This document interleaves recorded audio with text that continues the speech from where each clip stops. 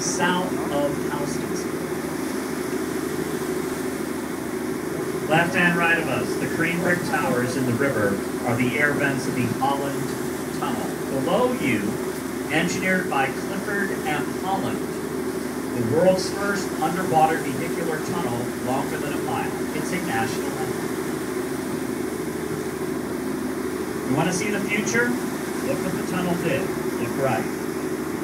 USA Today calls Jersey City the best planned urban community in the U.S. All new residential and affordable buildings. Want to see the past? Look left. Take Trump's new glass tower, please. Take it. But then all around it, these older, shorter buildings, because this was swampland four centuries ago. In the 1630s, the Dutch carved a canal through the swamps, drain the swamps into the canal, which we be